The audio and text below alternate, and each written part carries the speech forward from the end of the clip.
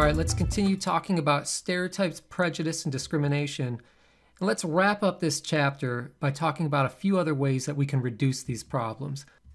Let's start by talking about shared identities. We often recategorize outgroup members after working with them to achieve superordinate goals. We've talked about superordinate goals before. These are goals that can only be achieved when we cooperate with other people. So consider this football team. It began, of course, with two basic groups of people, as you see in this picture black kids and white kids. And they came together because they both love football. And then what happened over time is that in order to achieve their goal of being a football team and being successful, they had to rely on each other, they had to work together, and eventually they came to recategorize themselves. They no longer saw each other as members of various outgroups, they saw themselves as members of the same group, as teammates, as friends. So these are now common identities that they share. And that's what the common in group identity model is all about. What happens is that recategorization helps create a common in group identity. So no longer are they seeing themselves as two separate groups and each group seeing the other as an outgroup, but they're seeing themselves as one cohesive group and they're all members of that same in group. Recategorization is really a, a great process. Recategorization helps improve intergroup attitudes and also intergroup relations. Now, as great as recategorization can be, sometimes it can lead to problems, particularly for groups that are somewhat smaller, for minorities. So, recategorization in these cases can lead members of smaller groups to fear losing their unique identities. Think about immigrants. Although they desperately want to be Americans, they don't want to lose that unique identity that they have, such as being Latinos or Italians or Germans, whatever it might be. But what's great is that in these situations, they can create a dual identity. So instead of simply recategorizing themselves as American, they can recategorize themselves as Italian Americans or Latino Americans or German Americans. So this allows them to preserve their in group as still being Italians or Latinos while continuing to now have an in group as Americans. And kind of the really neat thing about it as well is they have this new in group that they've created Italian Americans or Latino Americans. So it's another form of mental gymnastics that allows us to recategorize ourselves, recategorize our social situation to fit our needs. In general, our minds are flexible enough to allow us to adapt positively to nearly any situation, but we really need to be aware of and open to those possibilities. And as social strategists, we might need to help some people understand what their options are. All right, well, we're going to talk about several things in this particular section, so let's switch gears and talk about some ways in which we can reduce stereotype threat. You might recall that stigmatized people can experience profound negative effects when they worry about confirming other people's stereotypes. So, for example, African American people might worry about confirming negative stereotypes regarding their intelligence, and this threat of confirming that stereotype can lead them to worry and get distracted, and that can have a significant effect on their academic performance. This is particularly likely to happen when a black student is vastly outnumbered by students who are white. But right now, we're trying to focus on ways to fix these problems, and the good news is that some small changes can reduce stereotype threat. Let's talk about that. The key is establishing trust and confidence. One way to establish trust is to ensure that there are fair procedures and that there are no extra hurdles for minority students. It's also important to convey confidence in anybody's ability to achieve as long as they work hard. Now, keep in mind, stereotype threat can affect lots of different groups of people. We're not just always talking about African Americans in this situation. I teach stat classes, and I often deal with students who are adult learners. And those students are often worried that they're going to confirm the stereotype that older students can't learn new tricks. So if I'm going to get through to those students, I have to start with the basics. I have to establish trust. I do that primarily by helping them understand that there are going to be fair procedures in our class. All students are going to be treated equally. Students who have questions are going to get their questions answered. Doesn't matter if they're younger students or older students and I make sure that they understand that I have confidence in them and that I've seen students just like them before and that I know that they can do it. There are several other things that can be done as well to help reduce stereotype threat in this situation. So, for example, it's very important to affirm someone's sense of belonging. So I make sure I help those adult learners understand along the way that they're doing fine and that they belong in college and that they're just as bright and just as capable as anyone else.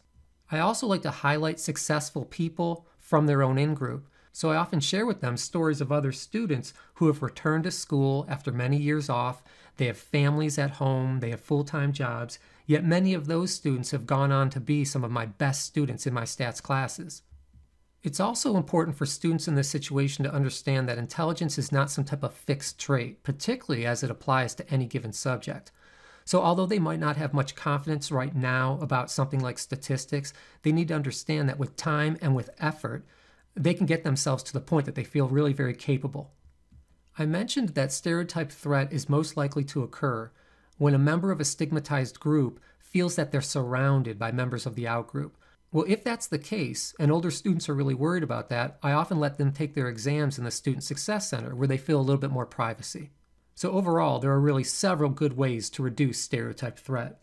All right, well, let's move on. Let's talk about another topic. Let's talk about some ways in which we can control prejudicial and stereotypical thoughts. I love this picture. These kids are being raised in such a way that race will be much less of a factor in how they make sense of other people as they grow older at least compared to those of us who were raised in situations where we didn't have as much interaction with people of other outgroups. But most people weren't raised in this way, where they were given such a great opportunity to get to know so well people from their racial outgroup. But even though we didn't have that opportunity as, as kids, many of us want to go on and treat people as fairly as possible. So sometimes we adopt this type of attitude by saying, like, well, I don't see color, I only see people.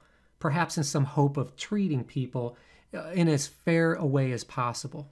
In some ways, people in these situations are probably trying to control their prejudices and their stereotypic thoughts, and some people might even be trying to suppress those thoughts altogether. Well, in general, suppressing stereotypic thoughts is not a wise long term strategy. I know I've done quite a bit of research on this. The bottom line is that it takes a lot of mental effort, and remember, we only have so many cognitive resources to spare. It takes a lot of attention to try to force some thoughts outside of our awareness. And in general, when you try to suppress thoughts, you're destined to fail.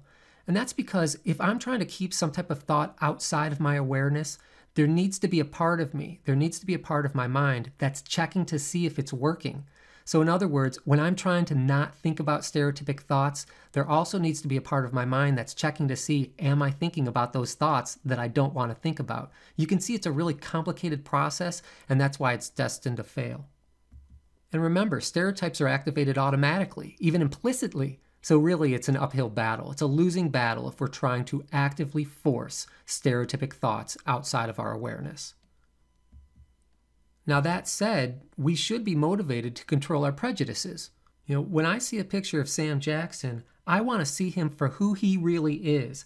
I want to see him as a great actor. I want to see him as a bright guy. I want to see him as insightful. I want to see him as someone who has a nice smile. I don't want to see him as a collection of stereotypes that may or may not describe him as an individual. In other words, I genuinely do not want to be prejudiced.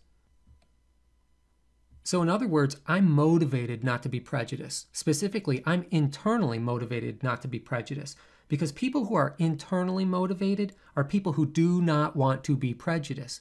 But people who are externally motivated, they're people who do not want to appear prejudiced. There's an important distinction there. And there's also an important distinction in terms of how successful you will be based on that motivation. But in our quest to control our prejudices, those of us who are internally motivated are going to fail, and we're going to fail often. But as we do, we're going to learn from it, we're going to improve, and we're going to get closer to perceiving people more fairly. So, after repeated failures, people who are internally motivated are more likely to control their stereotyping and their prejudice via self awareness and personal insight.